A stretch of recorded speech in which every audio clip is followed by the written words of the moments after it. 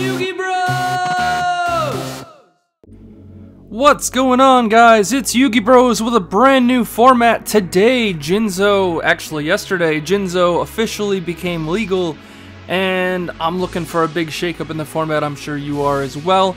Uh, definitely happy that this actually got legalized. I understand that in Paper Yu-Gi-Oh! only I think Europe has it. We don't have it over here in the States, but uh, fear not, Paper Yu-Gi-Oh! barely exists, and if you're gonna play in any Speed Duel tournament, I think the online tournaments are where it's at currently. Uh, the beautiful thing here about Jinzo being uh, legal is that the 9-card trap lineup that almost every person plays in every relevant meta deck most of the time is triple Zoma, triple Nightmare Wheel, and triple Dust Tornado, but with the release of Jinzo, none of those are viable while Jinzo is face up on the field. So, uh, hopefully we're looking for a bit of a shakeup. However, it's not like Jinzo just absolutely wrecks the meta. There are cards like Cocoon of Ultra Evolution, which still bodies Jinzo, Offerings to the Doomed, which might now see more play. Uh, you also have cards like Newdoria already in the game and Dark variants that can just blow it off the field.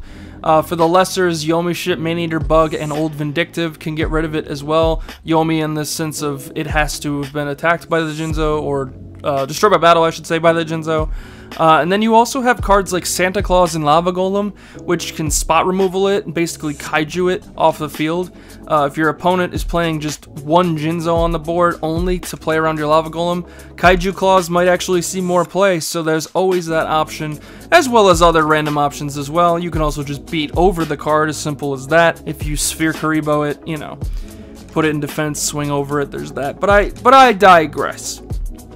Uh, today we're going to look at uh, my favorite deck in Speed Duels, and that is Relinquished. We're going to have Relinquished play against Dark Moth. Uh, in this situation, uh, it's just us playing the Jinzo. Uh, I will have more matchups in later coming in the week where both players are playing Jinzo, uh, but it's just, it's literally just Dark Moth versus Relinquished, but Relinquished has access to Jinzo, which gives it more playability through any anyone's trap lineup as well. Uh, we're also playing Ritual Sync. Um, sorry, uh, Ritual Ceremony, our favorite skill for Relinquished, uh, where we reveal a Relinquish once per duel and add the Black Illusion Ritual. Uh, we're gonna start off here summoning it and taking their monster. I've learned a lot against playing against Dark Moth. Taking their monster, even though it comes out, it's gonna make Relinquish zero. Uh, does put them a step behind. Dekoichi is one of the most powerful cards in, in speed duels, and I know this sounds crazy, but drawing one card in speed duels where your deck is 20 to 30 cards and also having then a 1400 beat stick sometimes and a lot of the times in Dark Moth can be so momentous for the game. It gets you so far ahead, gives you an extra body to deal with. 1400 also gets uh, over face down Dekoichis and face down Dodorias. So it's just, it's it's an extra free body. It's a draw. It's everything in one. That's why the card is so expensive right now. Uh, they're going to draw into Gap. They're going to use their Paranoid on our Relinquished, but we will Offerings our Relinquished. And so their Paranoid goes, we get our Illusionist Faceless uh, Magician back. They're going to use the skill to draw a card with Paranoid. They draw into Nightmare Wheel. So in addition to the draws that this gives you, the draws that Dekoichi gives you just puts that deck so far ahead. That's why I feel like taking their face down, whether it be Newdoria or Dekoichi, is usually pretty good. However, we can't draw because of offering, so we are forced to pass. We could have put Illusionist in attack mode and swung over its defense, um, but we didn't, and that's where we're at. And now they're going to Nightmare Wheel our boy, uh, which is a little unfortunate, um, and then they will set another monster. We draw into Jinzo, the one, the only. The man, the myth, the legend. We tribute summon our Faceless Magician for Jinzo, and then our Faceless Magician's effect allows us to summon back Relinquish in defense mode. Now, keep in mind, uh, Zoma and Nightmare Wheel, Zoma, or I'm sorry, Nightmare Wheel is now negated. Zoma then goes back to the trap zone, and it's essentially just going to sit there for the rest of the game until it gets removed from the field because it is negated. It's just kind of floating in space. It's the same with this card. It's like if Call of the Haunted, for example, uh, let's say you bring back a Tellarknight off of Call of the Haunted, and then you overlay it for another monster.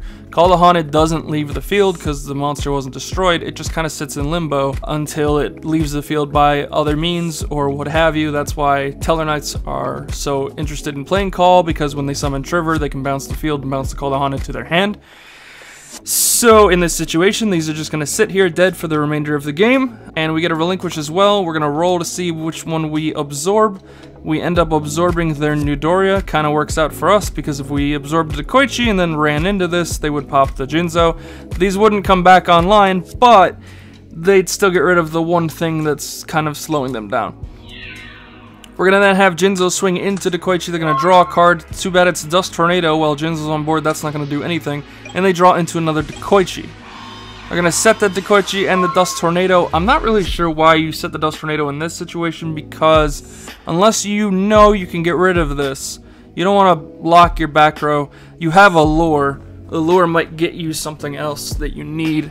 Um, we draw into a double Cyclone, which is actually kind of cool here.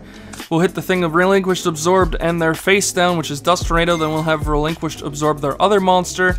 And this is where things get real dicey for us and them. We have Jinzo swinging for a full 24, and they can't stop us with anything. However, they do draw into Newdoria. They will set the Newdoria and pass.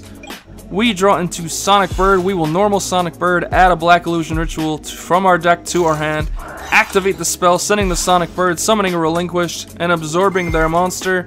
Alternatively, we could have sent the other Relinquish just because it's not really doing anything on the board, but hey, whatever. And we have Jinzo swing in for game number one. There's a big difference when you have uh, negate all traps on the field on board.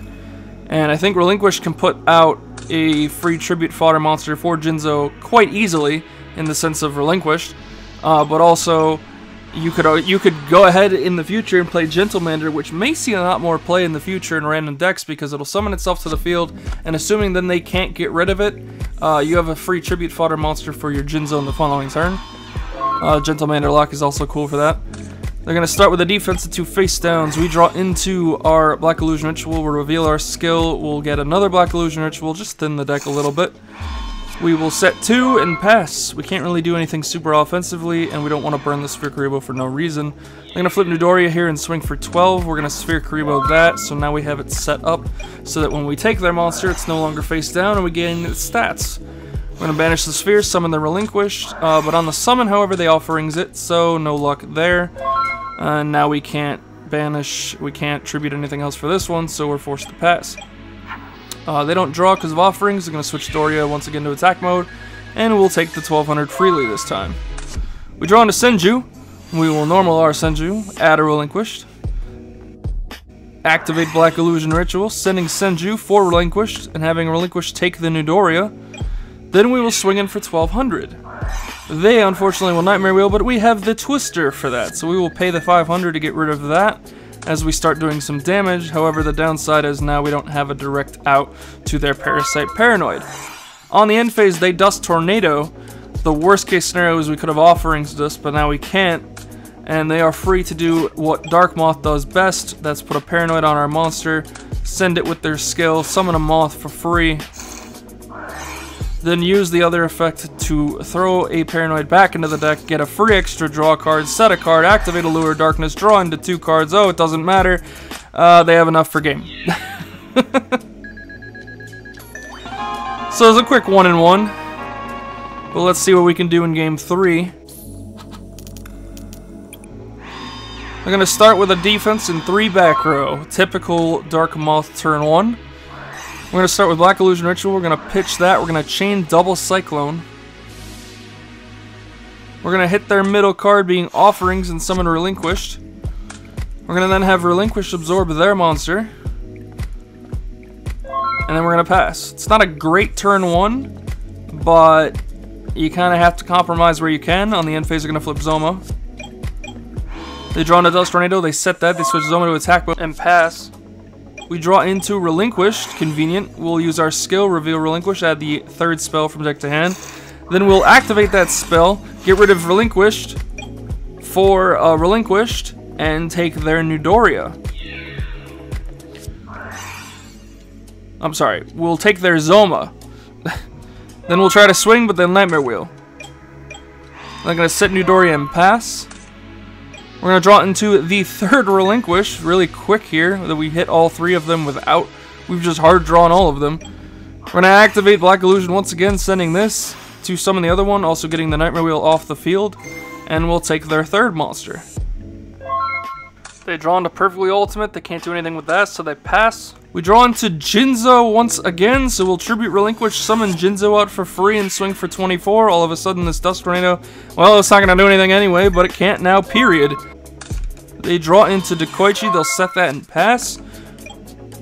We draw into Double Cyclone, can't do anything with that, but that's fine. We'll swing into their monster. They get their extra draw. They draw into Allure. They'll activate Allure of Darkness. Drawing two and be forced to discard their entire hand. At this point, they'll use their skill, throw back a Moth to try to draw a card.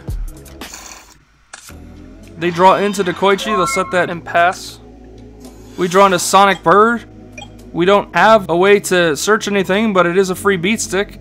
And we'll have Bird swing in, because we know anything they set in defense mode has less than 1400 defense. They draw into Offerings, which would be a hell of a draw against this Jinzo, however, they can't stop us. And that is game. They draw actually into Paranoid, so they actually would have had Paranoid and Offerings, and we wouldn't have been able to stop them going forward, so they clearly would have won the game, sending this for their Moth, Offerings this, and swinging for 35 to the face, assuming they weren't too too worried about our back row. Oh, they definitely weren't. Never mind, they hit Dust Tornado. So it was a close game, but unfortunately, or unfortunately for them, fortunately for us, we came out on top. Uh, we drew the cards uh, a little bit faster than they could.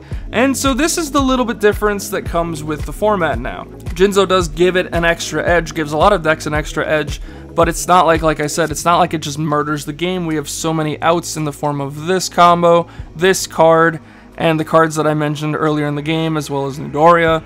Uh, so it's not like Jinzo's just going to straight murder the game. I would love to see what the speed box does uh, when it actually drops with the 192 other new cards that we're going to get on top of Jinzo.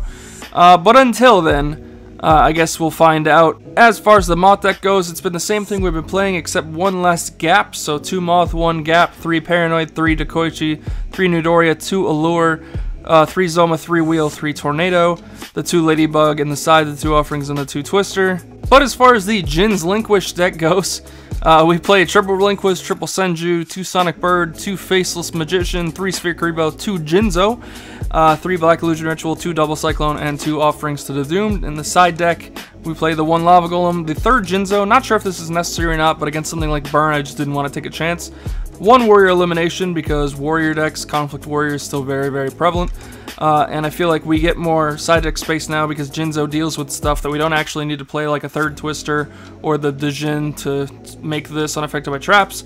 Uh, so we have this, we play a third Offerings, and we have two Twister. I might change one of these to the third Double Cyclone, not sure exactly yet or not whether we do that.